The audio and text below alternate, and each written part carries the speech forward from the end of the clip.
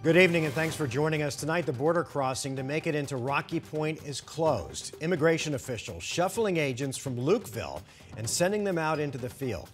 Good evening. Welcome to 12 News at 6, everyone. I'm Mark Curtis. And I'm Caribe Devine. 12 News journalist Adriana Loya is at the border tonight as agents deal with a surge in migrants. Women, children, and elderly people are among the large group of people that are gathering here camping along the U.S.-Mexico border. Some of them tell me they've been waiting here for days as immigration officials are stretched thin trying to keep up with the surge. How have these two days been for you? Demasiado frío. Maria de Los Angeles and her 10-year-old daughter are cold and hungry. Two days ago, they crossed the U.S.-Mexico border illegally, hoping to seek asylum. But they are waiting, as they aren't the only ones. In the last three weeks, more than 47,000 people have been apprehended in the Tucson sector, according to Tucson's Chief Patrol Agent John Modlin.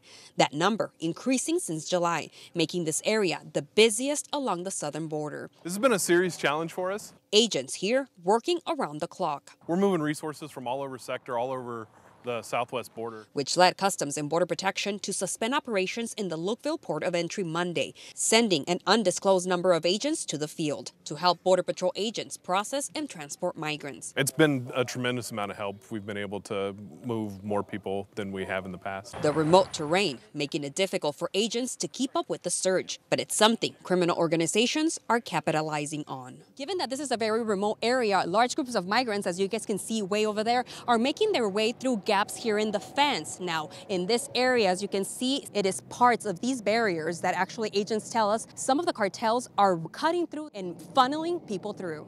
We're just trying to keep them wet. Humane Borders, a humanitarian group, leaving water and food, telling us the Organ Pipe Cactus National Monument invited them to come out as they work conversing with migrants who tell them some have been ill. Our understanding was that a child was born uh, out on the, on the wall probably down at uh, Station One, and um, and that's painful, painful to hear. CBP would only confirm that a pregnant woman was life flighted to Phoenix. Estoy here si bien sick.